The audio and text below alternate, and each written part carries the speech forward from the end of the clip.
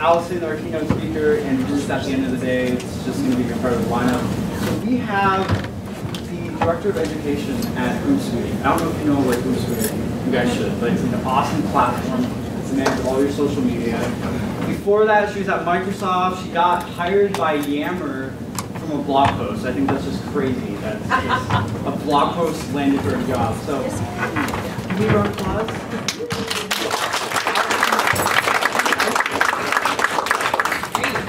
Yeah, um, that story about the blog post literally changed my life. I don't know if any of you were at social media today, but I was on a panel of like failures, and so I talked about my failure of a blog post that I wrote. But it was, it was I was being really open and transparent, and then the CEO of Yammer was like, "Oh, I like you. Come work for me." Um, so actually, what I'd love for us to do before we get started is um, I'd love for all of us to kind of stand up for a second. It is so early on a Saturday, like bless you all. Um, and I'd love for you guys just to stand up, meet someone new, um, and tell them if this is your first time, how many times you've been at Tech Phoenix, and um, then I'd love for you to tweet about it because this session right here, we're gonna be like, I don't want you to be staring at me. Um, get your phones out. I hope you're fully charged. Um, are all of you on Twitter? I'm hoping most of you are on Twitter. So good. I, I have really high expectations for you guys. Some of the sessions that I do, I'm like, let's send your first tweet. Um, and because I have a lot of patience and I love, love, love people like that. So, anyways, let's stand up for a second, meet someone new. Um, tell them if this is your first or how many Tech Phoenix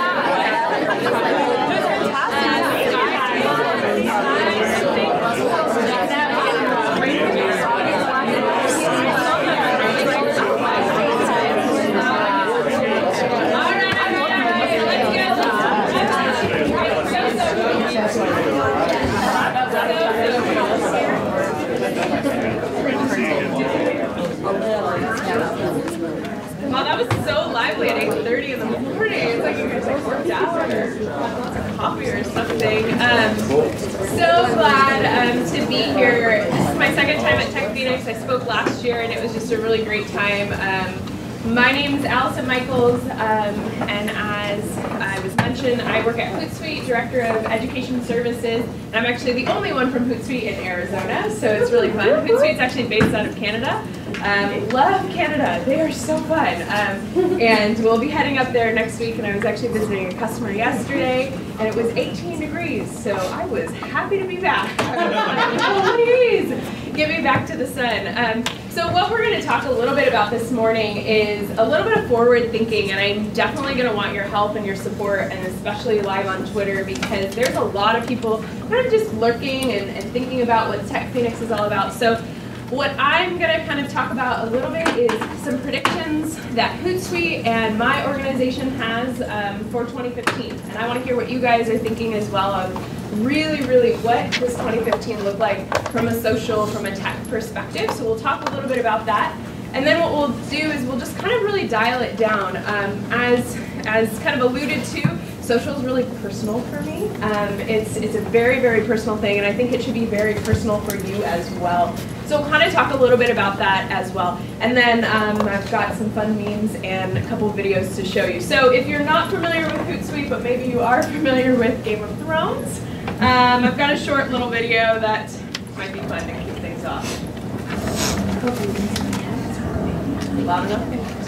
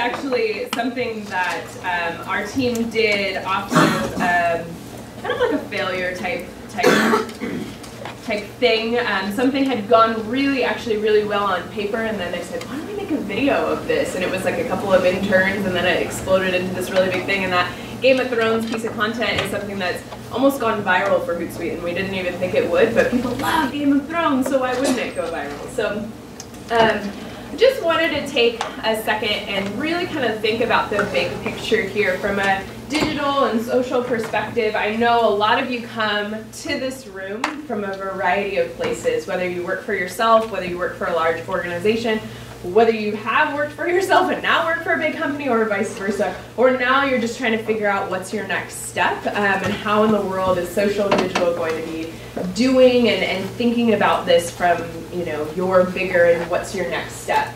Um, I, um, a couple weeks ago, our CEO, um, Ryan Holmes, he posted, um, he posted a blog post of remember the pre-internet self, um, like what were you like? Pre-internet. Um, I don't know, anybody have a raise of hands, like, remember what that was like? Um, I, I, don't want to tell you what that was like for me, but um, yeah, do you remember what that was like? I just remember not being able to look anything up. Yeah, yeah. like you had know phone numbers, and like, I just remember you, you, I mean, how did you even find a restaurant without Yelp before? Oh my gosh. Yeah. I remember telling my mom, I was like, yeah, go to a restaurant without Yelping it. And she's like, I, I wouldn't? Like, what?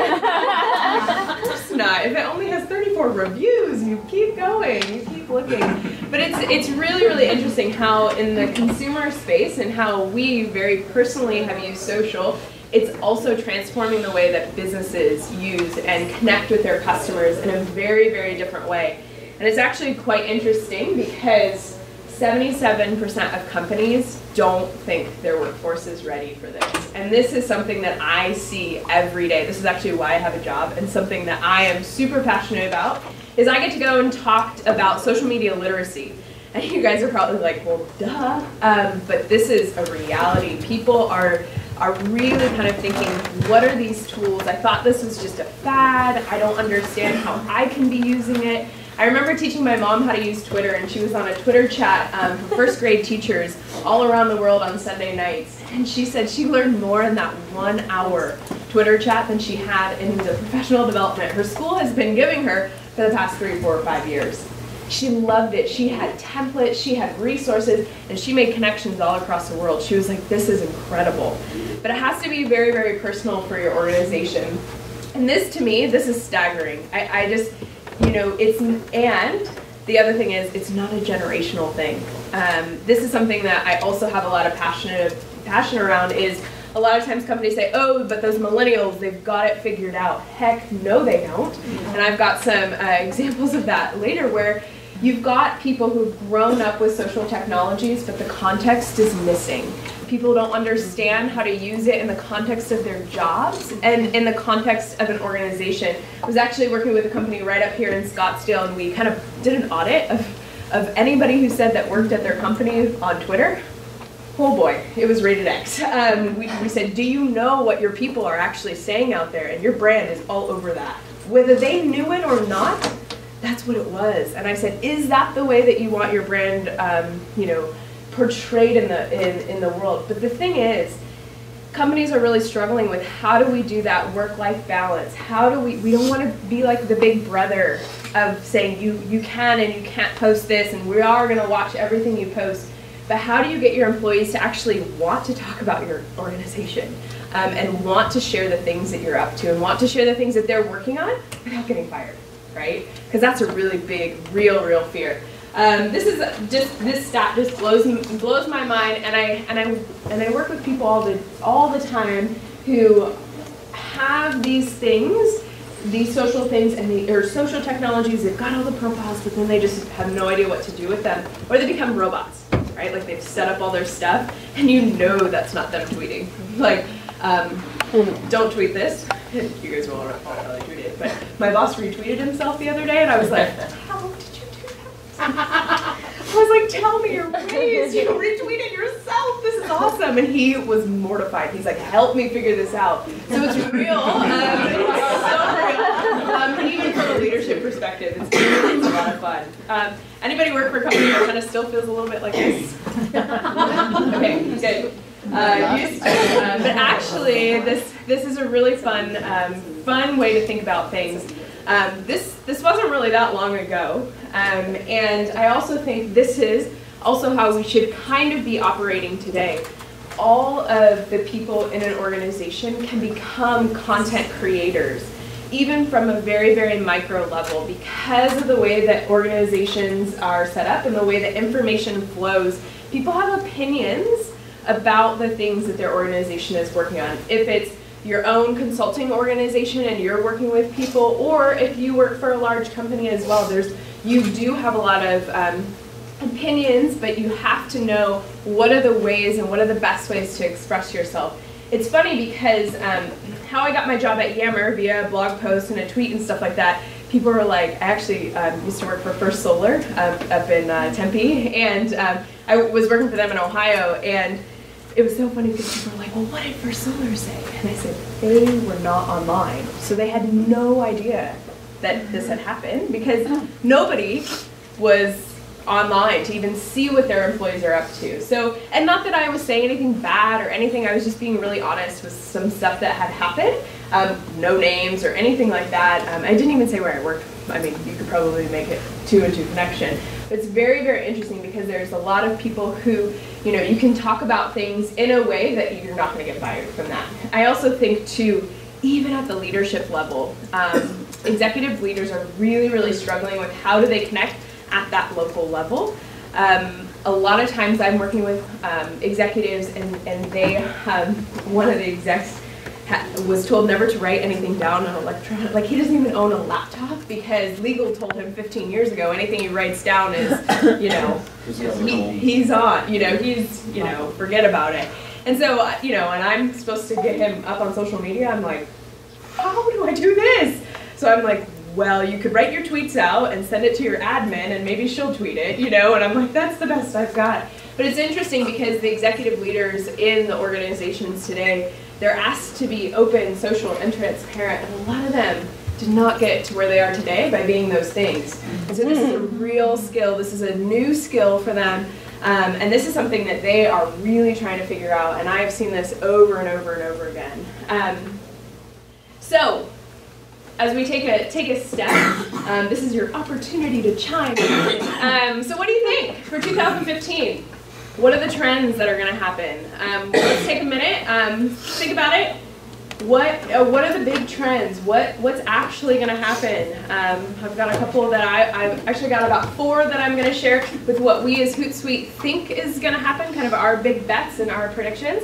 But I'd love for you to tweet about what do you think is going to happen in 20, 2015, which is not that away, like 50 days, which is insane. Yeah. So with all the wearables and the devices that can monitor health, I imagine we'll see a lot more of that sh- being shared on social Yeah. networks. Yeah. So then we'll probably also see the backlash of ways to health monitoring on social. Yeah. Okay, you better tweet that. I've got Hootsuite swag too for all you tweeters, so make sure that you're tweeting and tagging me so I can give away my swag because I don't have much of it, um, but I do have some.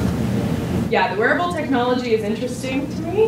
Um, yeah, just interesting. I've, I've got the really cool running one, and I actually wrote a blog post about this about how like bad vanity metrics are. I was like, oh yeah, I'm so fast, and my husband's like, no, you're not. And I'm like, what? I made it around the block in this time, and he's like, as long as you've been running, you should be running faster. so, oh well, I was measuring the wrong thing. So anyway. I know, right? like, at least I'm running. At least I'm running. All right, you tweeting, everybody? You're allowed to not look at me. You're allowed to look at. Yeah. Not like typical-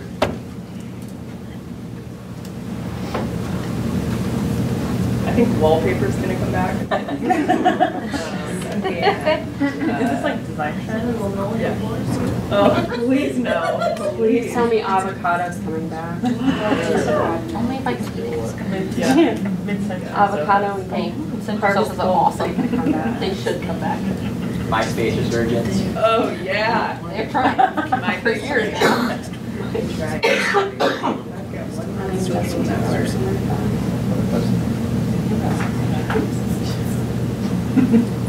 All right, so the first prediction that um, Hootsuite has, and something that obviously I'm personal about, is empowered organizations will win. I see this every day, and I see this more and more. Organizations are trying to figure out how they can amplify their messages. And this is something where it's not just um, the marketing team is retweeting stuff, it is where the people on the ground are retweeting and, and posting things adding their own commentary about the content that people are creating. And you can kind of see the total reach where you've got a lot more full-time employees posting on Facebook, putting it on Twitter, those different things, and then the, the reach is just huge.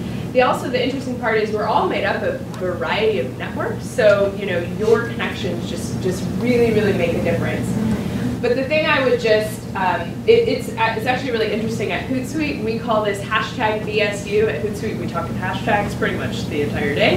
Um, hashtag BSU, anybody know what BSU stands for? Blow shit up. So when, we want something to like go viral, to like really get moving, we have a big BSU button that says go. Post this, use this, get this out, get this word out, um, and then really, really simply, especially for some people, they've got a variety of sample tweets. And this is like super tactical stuff, but this is easy stuff to help people who especially are very unsocial to start to understand how they can be sharing um, and engaging with content. The second trend that we see is disruption prevents disruption. Anybody think of an industry that's recently been disrupted? Anybody? Taxis, taxis. I took Uber for the first time in Phoenix uh, Tuesday or Wednesday.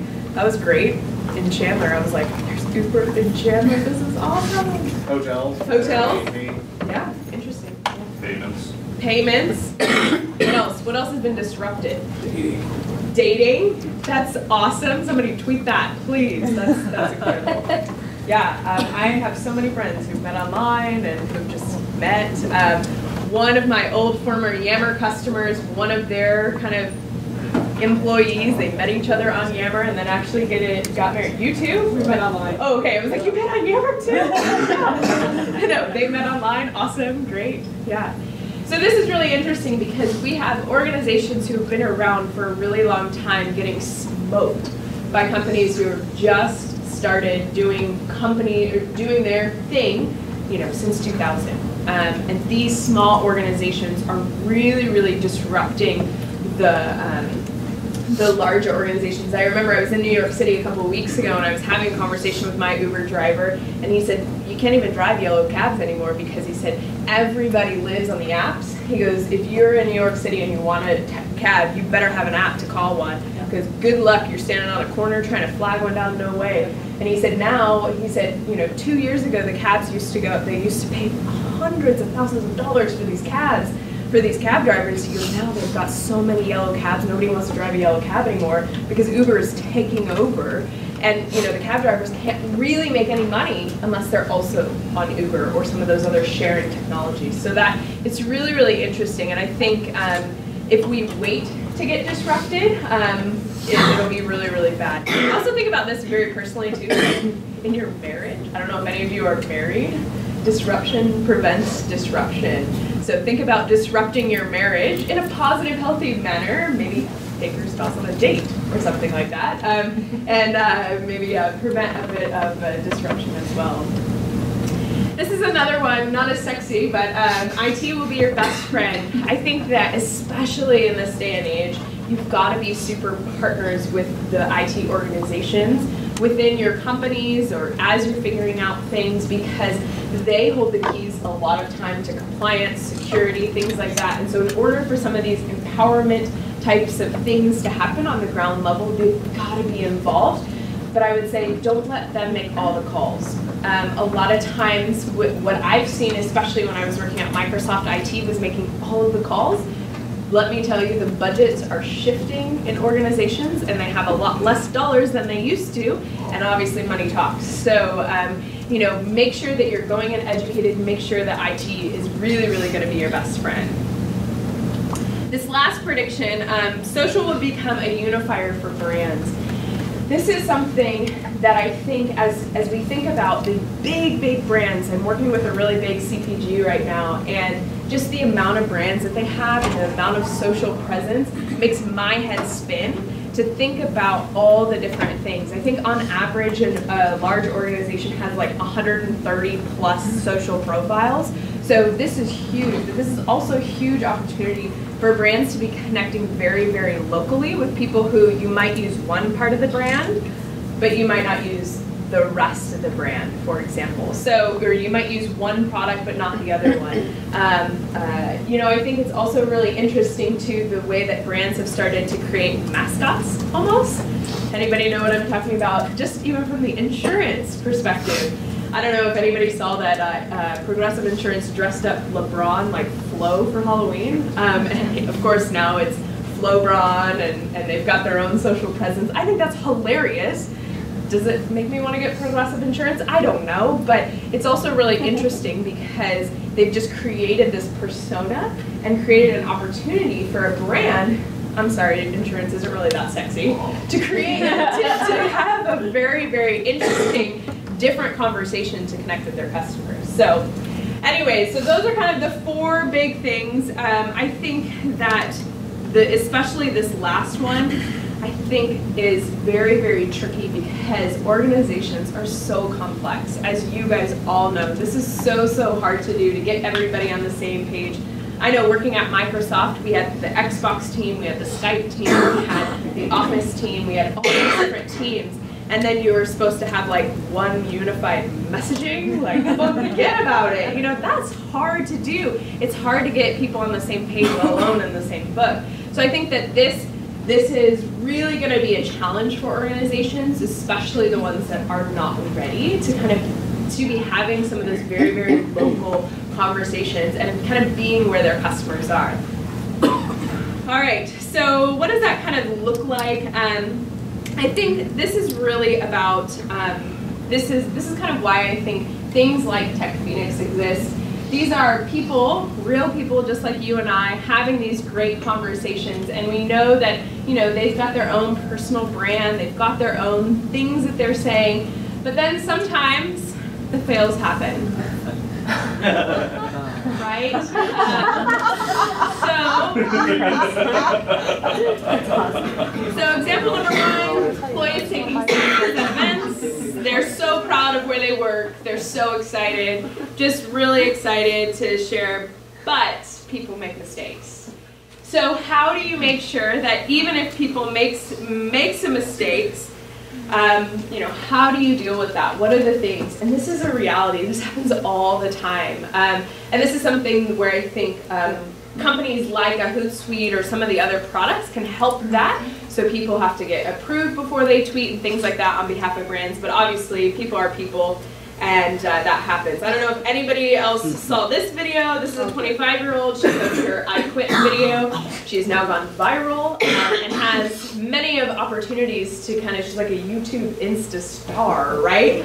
From this video where she had, had quit. And so, kind of if you put it in the employer's side of the, um, you know, situation, man, what a disengaged employee that was so quickly engaged in a very different way. Is was there an opportunity for that employer to engage that 25 year old at a different level?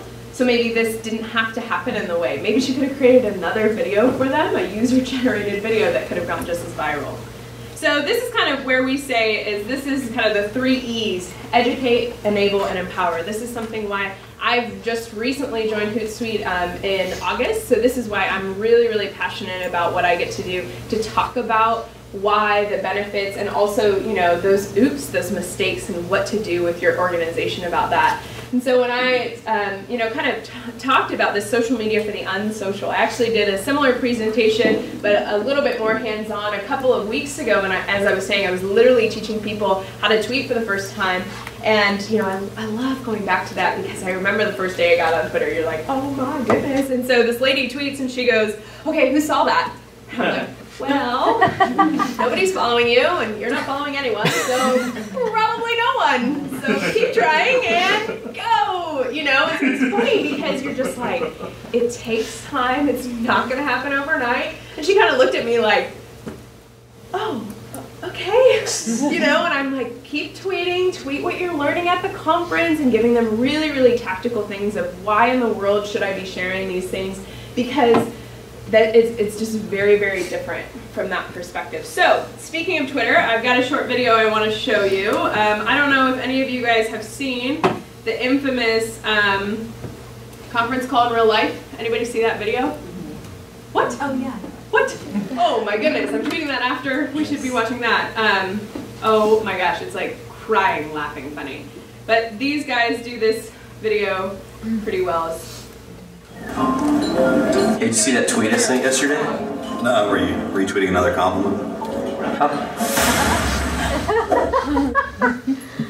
Yeah, retweeting a compliment's the same thing as bragging. You add, means a lot at the end. What's wrong with that? Well, if we're at a party and I say nice shirt, would you stand up and say, hey everybody, this person said I had a nice shirt?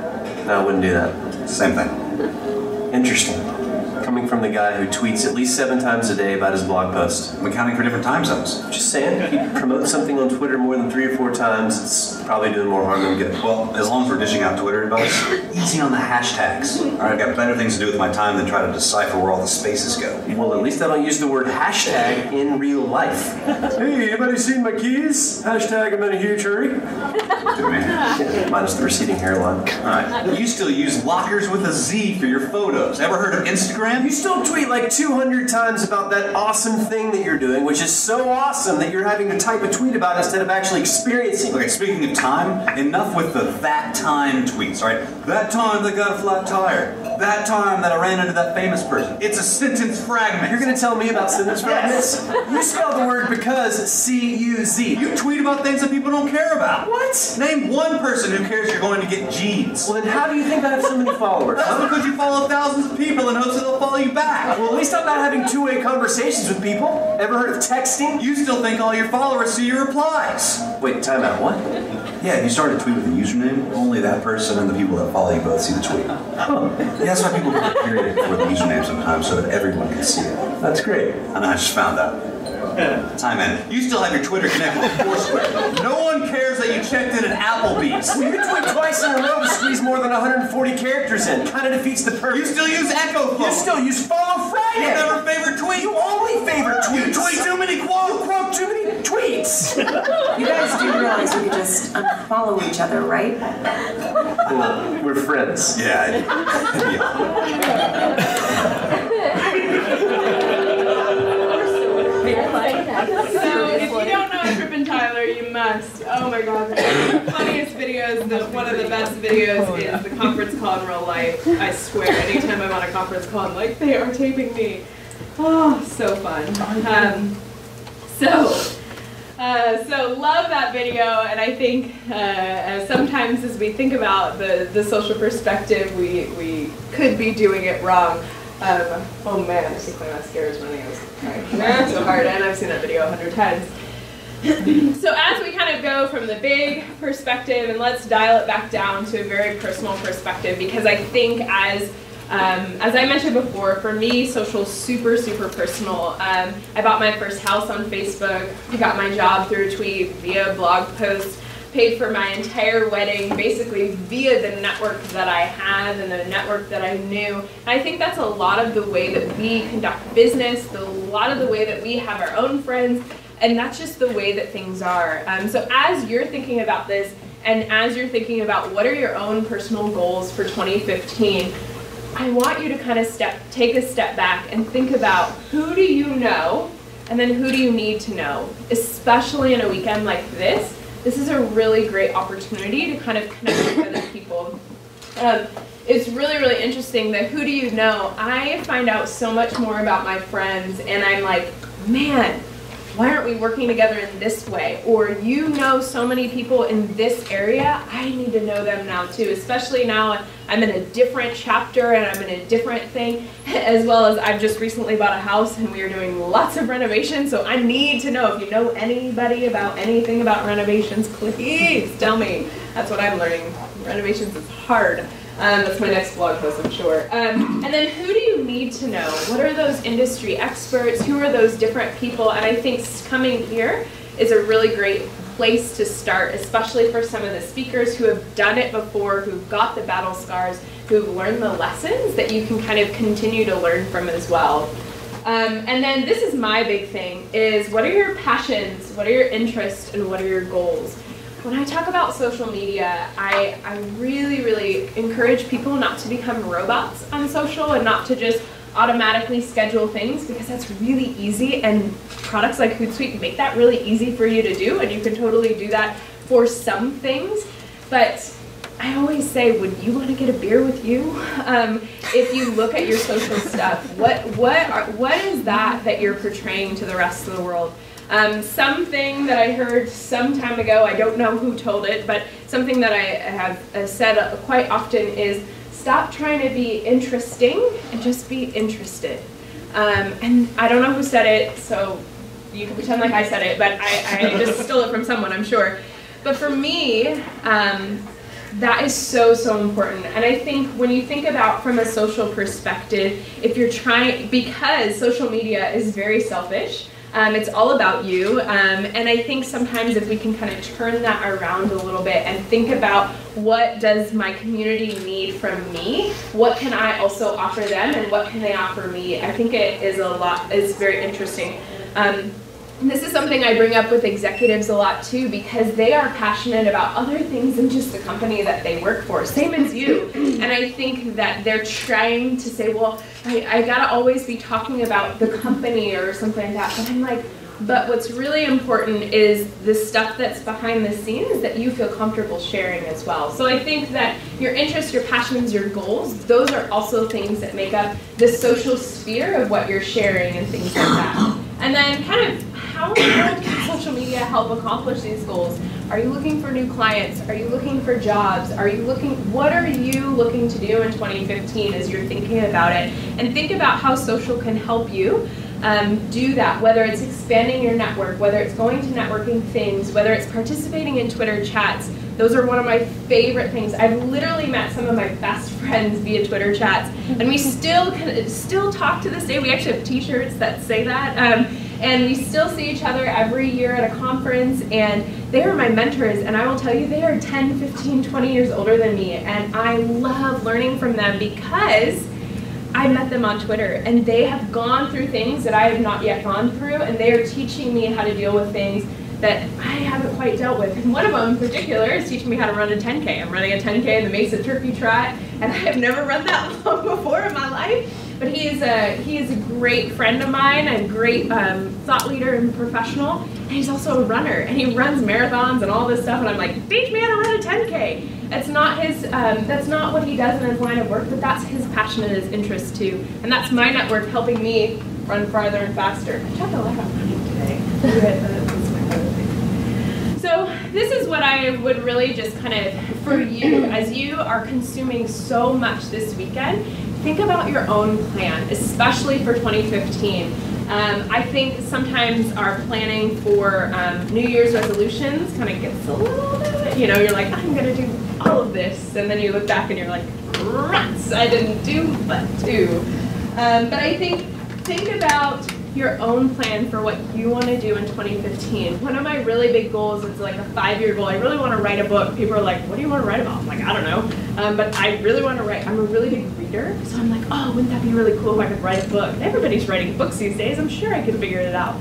So I'm having to do this for my own self of thinking about who are the people? What are the plans I need to make?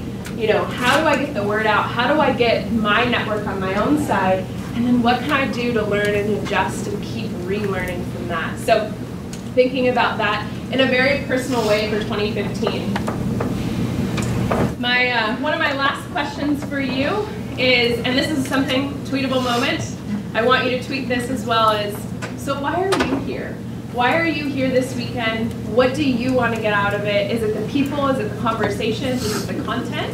Um, or is it just because you love being surrounded by people who are similar to you? That's why I love coming to these things because I'm like, yes, I'm not the only one who geeks out about this. Like, yes, this is so cool. Um, but take take 30 seconds, tweet this, and I think I've got one or two more slides left. So take a moment, tweet, right? I want to get trending at 8.30 in the morning, 9 o'clock in Phoenix. Come on. Lots of lots of Twitter action going on. No, I was not born in '87. I just I can't remember 87. Everybody always asks me, "Oh, cool if I was."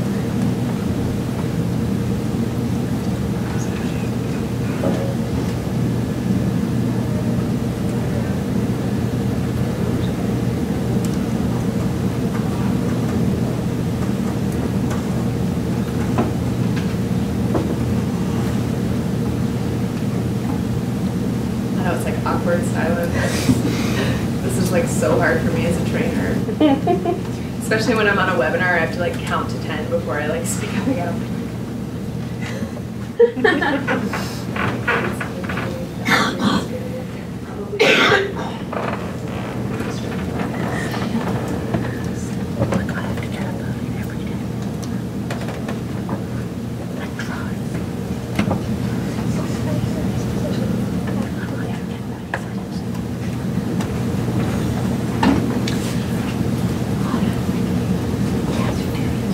Cool, good.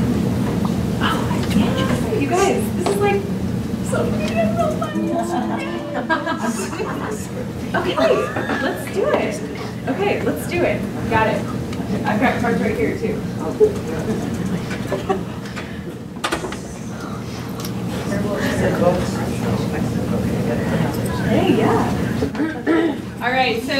presentation would be what it would be without a helmet. Just, that's all I have to say with that. so, something that I tell people is um, to treat social media like a mullet. Um, I mean, come on, why not? Um, and you know, I think from a from a smarts perspective, and, and going back to that, being interesting versus being interested. Um, you know, I think it's really wise to keep a lot of the conversations as you're thinking about it, business, and of course, feel free to show a little life um, and have a little fun because I think that's so important too because that is stuff that really, really draws in a community that builds the connection um, in the back. And searching for mullet pictures, you guys, this was, I was, so this is my prediction. Mullets are coming back in 2015. I hope so. I saw one on a plane yesterday and I was like, yes. but I was like, I can't decide if this is a real thing or not. Um, so, so um, I, I think that if you can kind of remember the social mullet, um, I think that will give you a good baseline. It will give you a good framework.